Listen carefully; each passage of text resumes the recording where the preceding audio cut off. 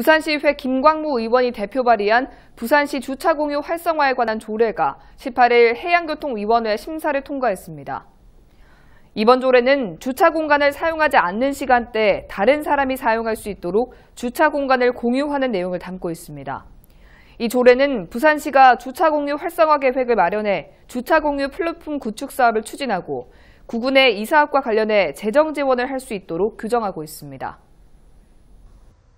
주차장을 공유 개념으로 통해 가지고 어, 자신이 뛰어 있는 주차장을 빌려주고 그리고 저렴하게 주차장을 또 사용할 수 있도록 해서 주차장을 해소하기 위해서 어, 주차 공유 활성화 조례를 발의하게 되었습니다.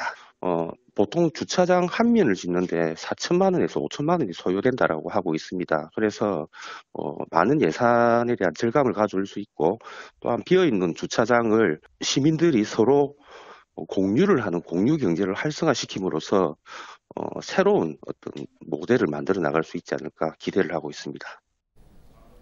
이 조례는 오는 23일 제4차 본회의에 상정될 예정입니다.